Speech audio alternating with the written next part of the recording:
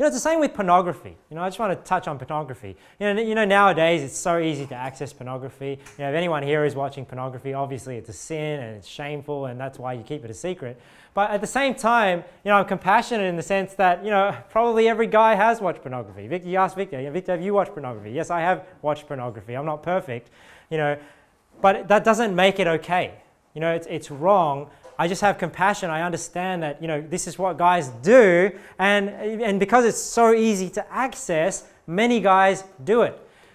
Now, how do you overcome pornography? Do you overcome pornography by sitting at home in front of your computer and just thinking, I'm not going to go to that website, I'm not going to watch this video, and reading books about pornography and the struggles that people have, which is almost a pornographic book in and of itself? You know what I mean? You're reading about all these struggles and all these dark thoughts that people have, and you're like, yeah, those are the thoughts that I have.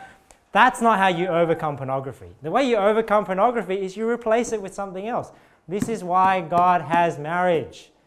God has marriage because that's how you overcome the lust of the flesh. That's how you overcome pornography. And wives, you need to understand this that this is what God has put in place. So don't deny your husband physical intimacy when he's in the mood, right? Because that, that's what you're there to do. You know, you're there to do it so that he, you satisfy that appetite so that he doesn't go and watch pornography, that he doesn't flirt with the girls at work because that appetite is satisfied with you and therefore you can help your marriage in that instant.